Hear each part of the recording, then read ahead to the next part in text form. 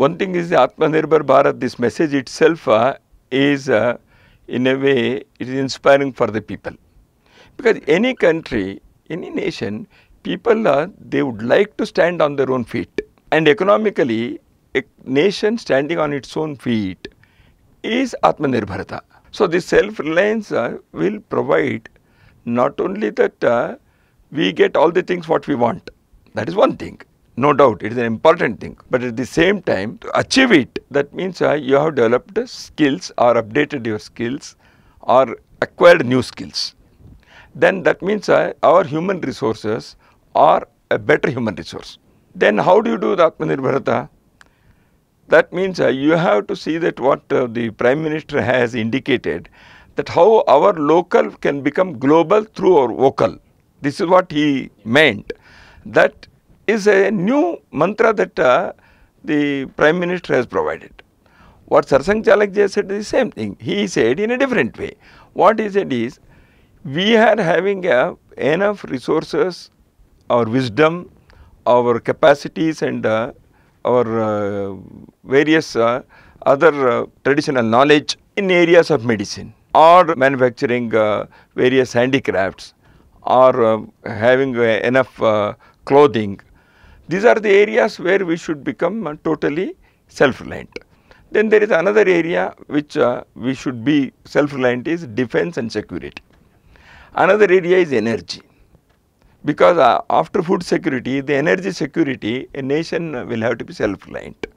So these are the areas where I think uh, we have enough knowledge, we have enough capacities, our uh, traditional knowledge is there, natural resources are there, human resources there. How we try to blend all these things with the required skills. I don't say we have all the knowledge. We may have to get some knowledge and technical inputs from other countries also. Nothing wrong. There is Atmanirbharata. Many times people uh, think that it is shutting the doors uh, to others. It is not isolationism. It is living with world in harmony. But uh, when you live with uh, the other countries in the world, you should stand on your own feet firmly. Otherwise, you may fall down. So stand on your own feet firmly, but also expand, extend your uh, approach, your uh, hands to other countries. Nothing wrong. So that's why we say Vasudhaiva Kutumbakam. I can't close my doors and practice Vasudhaiva Kutumbakam. That is not possible. So Atmanirbharat means these are the things. One is self-confidence, self-reliance. Another is developing our skills. Third thing is uh, our human resources they have to see that our uh, capacities uh, to produce things and make them uh, of global standards. So for that uh, you have to attain quality. Then there, there is an area of uh, rigorous research and then the skills of marketing.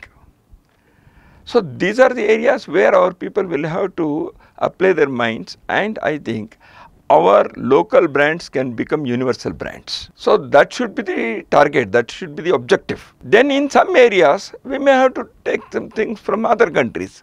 That is not wrong, but basic things, food, energy, defense and medicine, healthcare. In these areas, uh, we should be self-reliant, self-sufficient. So I think uh, Atmanirbharata is the goal for the next uh, decade at least for uh, Indian people and they can achieve it.